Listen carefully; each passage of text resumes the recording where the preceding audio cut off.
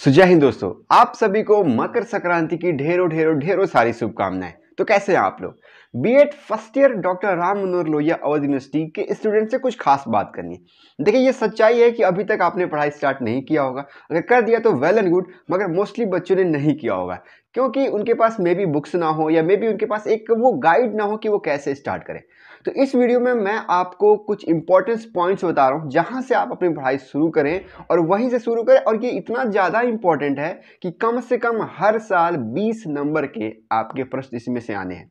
मैं किसकी बात कर रहा हूँ? मैं बात कर रहा हूँ B Ed first year first paper knowledge and curriculum ज्ञान एवं पाठ्यक्रम की। इसमें एक पॉइंट आता है जिसको कहते हैं वाद। इंग्लिश में कहते हैं इज्म चार वाद, मुख्यतः चार वाद हैं आपके सिलेबस में, और इन चार वादों में से हर साल कम से कम एक आता है, और कभी कभी दो और तीन भी पूछे जाते हैं। यानी कम से कम आपको 12 नंबर का प्रश्न तो आएगा, और कभी कभी इसमें से 25 से 35 नंबर के भी प्रश्न आते हैं।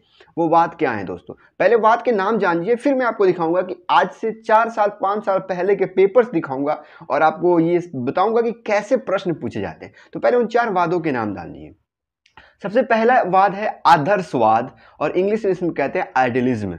दूसरा वाद है प्रकृतिवाद, जिसको इंग्लिश में कहते हैं नेचुरलिज्म, और तीसरा है यथार्थवाद, जिसको कहते हैं रियलिज्म, और चौथा है प्रयोजनवाद, जिसको कहते हैं प्रैग्मेटिज्म। तो ये चार मुख्य वाद बहुत बहुत ज़्यादा इंपॉर्टेंट है मोस्टली रिपीटेड क्वेश्चन है। इन चार वादों में इस साल के लिए मेरा प्रोडिक्शन है द मोस्ट मोस्ट इंपॉर्टेंट वो है आदर्शवाद और यथार्थवाद, आइडियलिज्म एंड रियलिज्म ये अन्य भी इंपॉर्टेंट है, बहुत ज़्यादा। इन चारों में से तो दो तो आपको आने ही आने हैं। अब चलिए मैं आपको कुछ प्रीवियस ईयर्स के क्वेश्चन पेपर दिखाता हूँ। शुरुआत करेंगे 2021 से कि 2021 में कितने नंबर के प्रश्न पूछे गए थे और किस तरीके से प्रश्न पूछे गएँगे। तो सबसे पहले 2021 का ये प्रश्न पत्र देखिए दोस्तों। तो दोस्तों 2021 का प्रश्न पत्र आपके सामने और इसमें आप देख सकते हैं जो पहला प्रश्न सेक्शन ए में पूछा गया था सेक्शन ए में आपको यहाँ एक नंबर में पूछा गया था कि आदर्शवाद के कोई उद्देश्य बताइए। एक नंबर यहाँ से आदर्शवाद आ गया। आप बस देखते रहिए कि कौन सा प्रश्न पूछा है कितनी बार। यहाँ पे एक नंबर में आपसे पूछा गया कि आदर्शवाद के कोई उद्देश्य बताइए और उसके नीचे ही यथार्थवाद का अर्थ बताइए। दो नंबर तो आपको 2021 में इन्हीं से मिल गया, आदर्शवाद और यथार्थवाद। ये हो गया सेक्शन ए। सेक्शन ए में भी दो नंबर के सवाल आ गया। अब चलिए मूव करते हैं दोस्तों सेक्शन बी की तरफ़। सेक्शन बी को अगर आप ध्यान से देखेंगे तो आपको यहाँ पे थर्ड क्वेश्चन दिखेगा, प्रयोजनवादी शिक्षा के उद्देश्य मतलब प्रयोजनवाद के उद्देश्य। और ये आठ नंबर में पूछा गया। समझ में आ गया दोस्तों? अभी तक दो नंबर उधर और आठ नंबर इधर। दस नंबर के प्रश्न आ गए यहाँ पे पूछा गया कि discuss the aim of education of pragmatism यानी कि प्रयोजनवाद शिक्षा के उद्देश्यों की विवेचना करें। सेक्शन सी में भी पंद्रह नंबर का एक और सवाल पूछा गया कि प्रकृतिवाद के अनुसार पाठ्यक्रम में शिक्षण विधियाँ क्या होनी चाहिए? सेक्शन बी में भी प्रकृतिवाद। मैंने कहा था ना, अभी देखिए, दो नंबर सेक्शन ए में, आठ नंबर सेक्शन बी में और पंद्रह नंबर सेक्शन सी में अगर सबको ऐड करेंगे तो पच्चीस नंबर का सवाल इन चार वादों में से आ गया। यहाँ पे सेक्शन ए में आदर्श सॉरी सेक्शन ए में आपका यथार्थवाद और आदर्शवाद के बारे में पूछ लिया गया। सेक्शन बी में यहाँ पे आपसे पूछ लिया गया प्रयोजनवाद के बारे में और सेक्शन सी में आपसे यहाँ पे पूछ लिया गया प्रकृतिवाद के बारे में। मतलब एक ही पेपर में आपका पच्चीस नंबर का सवाल इन्हीं चार वादों से। अब आइए चलते हैं 2020 के क्वेश्चन पेपर की तरफ़। बीस में भी कुछ इसी प्रकार का प्रश्न पूछा गया था। सेक्शन ए में देखेंगे तो यहाँ पे लिखा था, प्रयोजनवाद का शाब्दिक अर्थ क्या है? कि what is the literate meaning of pragmatism एक नंबर का प्रश्न ये आ गया। सेक्शन बी में आप देखेंगे तो सेक्शन बी में आपसे एक सवाल यहाँ पे पूछा गया था कि प्रकृतिवाद का क्या तात्पर्य है? शिक्षा सिद्धांत में इसके किस प्रकार प्रभावित करता है? प्रकृतिवाद से यहाँ पे प्रश्न आपसे पूछ लिया गया सेक्शन बी में। सेक्शन बी में एक और प्रश्न आपका क्वेश्चन नंबर पाँच देखिए। प्रयोजनवादी शिक्षा दर्शन का मूल्यांकन कीजिए। परियोजनवादी शिक्षा दर्शन का मूल्यांकन कीजिए। तो दो प्रश्न आ गए। आपको यहाँ पे प्रकृतिवाद और प्रयोजनवाद दोनों पूछ लिया गया। आठ आठ नंबर में, सोलह नंबर यहाँ अभी हो गया एक नंबर सेक्शन ए में हो गया। यानी कि सत्रह नंबर का प्रश्न यहाँ हो गया। अभी रुकिए, और भी प्रश्न आए हैं। 2020 के क्वेश्चन पेपर में सेक्शन सी में आप आएँगे। तो सेक्शन सी में यहाँ पे आपसे पूछा गया था उत्तम सामाजिक व्यवस्था के सृजन तथा संचालन में आदर्शवाद के महत्व तथा योगदान की विवेचना की। Discuss the importance and contribution of idealism section C में पंद्रह नंबर का एक सवाल पूछा गया था और सेक्शन सी में एक और सवाल पूछा गया, सातवां क्वेश्चन कि यथार्थवादी शिक्षा के गुण एवं दोष की संक्षिप्त टिप्पणी करिए। अब देखिए, इसमें कितने नंबर के सवाल आ गए आपको पता है? तीस नंबर तो सेक्शन सी में आ गया दो दो प्रश्न आए थे पंद्रह पंद्रह के तो तीस नंबर यहाँ हो गया आठ आठ सोलह यहाँ हो गया, कितने हो गए भैया? मेरी कैलकुलेशन खराब हो रही है। Thirty plus sixteen is forty six और एक नंबर का सवाल आपका, इसमें आ गया 47 could you believe believe guys कि एक ही पेपर में इन चार पॉइंट से 46 नंबर के प्रश्न आए।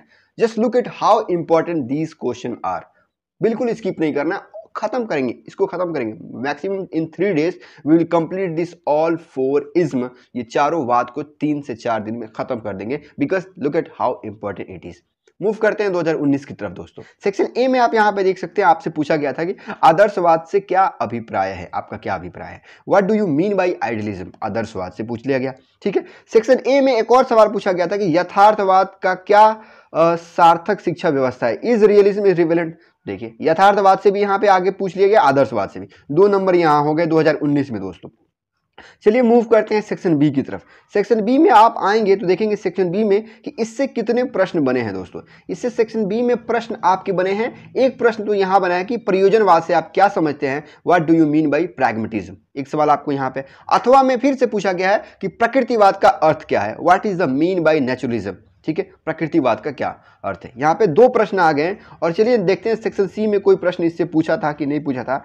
सेक्शन सी में यहाँ पे एक प्रश्न आपका, इस बार एक और प्रश्न आ गया नीचे। सबसे देखिए, आदर्शवाद से आप क्या समझते हैं? आदर्शवाद के मुख्य सिद्धांत, आदर्शवाद गुण दोष के।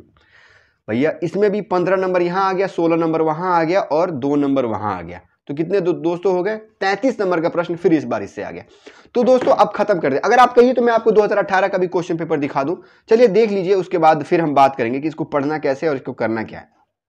चलिए 2018 का भी क्वेश्चन पेपर देख लीजिए बहुत शॉर्टली ठीक है? 2018 में भी सेक्शन ए में अगर आप बात करेंगे 2018 के सेक्शन ए में आपका प्रश्न यहाँ पे एक पूछा गया है कि प्रकृतिवाद का सार्थक शिक्षा व्यवस्था है, इसको बताना है। मतलब क्या प्रकृतिवाद सार्थक शिक्षा व्यवस्था है, इसको बताना है। और भी प्रश्न आए थे, जल्दी जल्दी मैं देख ले रहा हूँ, कहीं छूट ना जाए। ठीक है, दो हज़ार अठारह में भी यहाँ पे पूछा गया था कि यथार्थवाद से आप सॉरी यथार्थवाद ही है तो हाँ जी भैया सॉरी यथार्थवाद से आप क्या समझते हैं? ठीक है? यहाँ पे एक और सवाल यहाँ पे आ गया था। और उसके बाद नीचे आप देखेंगे आदर्शवाद का अर्थ बताइए। सेक्शन बी में दो प्रश्न आ गए 2018 में और सेक्शन सी में देख लेते हैं। सेक्शन सी में भी आया होगा। अब खत्म करते हैं। वीडियो को बहुत लंबी नहीं करनी है। अब सिंपल सी एक बात सुनिए मुझसे तो देखा दोस्तों, कितना ज़्यादा इंपॉर्टेंट है ये चारों बात। इस वीडियो को यही खत्म करेंगे एक रिक्वेस्ट के साथ कि मैं तो इसका आंसर बताऊँगा। डेफिनेटली बताऊँगा। अगले चार दिनों के अंदर इन चारों बात को खत्म करेंगे। लेकिन मेरी रिक्वेस्ट आपसे ये है कि आप चाहे किसी भी यूट्यूबर से, चाहे गूगल से, चाहे बुक से या कहीं से भी प्लीज़ आप इन चार वादों के सेल्फ नोट्स बनाइए।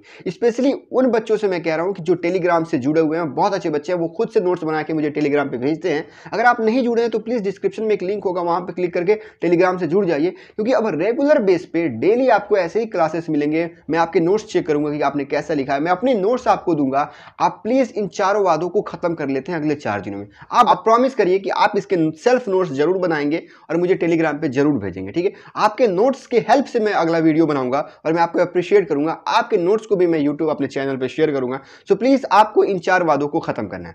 दोस्तों, अब रेगुलर बेसिस पे क्लासेस मिलेंगे आपको। मैं आपसे रिक्वेस्ट करूँगा प्लीज़ आप चैनल से जुड़ जाइए। और मेरा वादा है आपसे, एक महीने के अंदर आपके जितने भी इंपॉर्टेंट क्वेश्चन है उसको खत्म करेंगे और अच्छे तरीके से सीरियल वाइज यूनिट वाइज पूरे आपके बी फ़र्स्ट ईयर को खत्म करेंगे। और मेरा टारगेट है दोस्तों कि जब आपका एग्ज़ाम आए तो आपको कोई टेंशन ना रहे। आप आराम से सुकून से सोएँ, बस एक बार पेपर देखें और जाके आराम से एग्ज़ाम से लिख के आए। मतलब टेंशन के साथ ऐसा नहीं होता। लास्ट टाइम बच्चों के साथ यही प्रॉब्लम हो गई थी कि हम प्रोमोट होने के चक्कर में और so many things was going on the last year so बच्चे परेशान हो गए लास्ट टाइम पे, मगर इस बार मैं चाहता हूँ कि आप शुरू से तैयारी कर दे। प्लीज़ अपने एक महीने का कीमती समय मुझे दे दीजिएगा। मैं डेफिनेटली आपकी बहुत अच्छी तैयारी कर दूँगा। अभी तक आपने चैनल को सब्सक्राइब नहीं किया तो प्लीज़ सब्सक्राइब कर दीजिए। रेड आइकन पर क्लिक करके। एक चीज़ इसलिए मुझे हँसी आ गई ना क्योंकि मैं जब यूट्यूब खोलता हूँ तो उनके शुरू के आधे तो ऐसे निकल जाते हैं कि अब तक आप चैनल पर नए हैं तो सब्सक्राइब करिए। मैं ये सारी चीज़ें बाद में कहता हूँ। इसलिए कहता हूँ कि भाई, मेरा जो पर्पज़ है, मैं, मेरी जो रिसर्च है वो मैं दिखा दूँ। आपको अच्छा लगेगा तो आप ज़रूर सब्सक्राइब कर लेंगे। इसलिए मैं हमेशा बाद में कहता हूँ कि अगर आपको वीडियो पसंद आई हो, अगर आपको मेरी मेहनत अच्छी लगी हो, अगर आप मेरे चैनल से जुड़ना चाहते हो तो प्लीज़ सब्सक्राइब करके जुड़ जाइए। और दूसरों को शेयर कर दीजिए, अपने क्लासमेट्स को बता दीजिए, क्योंकि एक छोटा सा चैनल है, अवध विश्वविद्यालय से रिलेटेड वीडियो बनती है। सो so, उतने ज़्यादा सब्सक्राइबर नहीं है अगर खुशी होगी मुझे। खुशी होगी जितने ज़्यादा अगर आप मुझे सपोर्ट करेंगे अपने दोस्तों को कहेंगे वो सब्सक्राइब करेंगे। तो तो प्लीज़ आप अपने दोस्तों से शेयर करिए कॉलेज ग्रुप में जितने भी आपके पास ग्रुप्स हैं उसमें शेयर करिए और उनसे कहिए यहाँ पर ज्वाइन हो और एक साथ मिलकर अच्छे से पढ़ाई कीजिए। ठीक है दोस्तों तो बहुत अच्छा लगा मुझे ये जानकारी आपके साथ शेयर करके।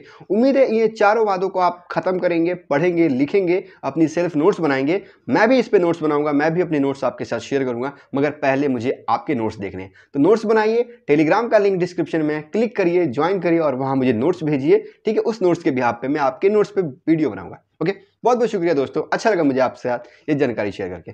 जय हिंद, जय भारत।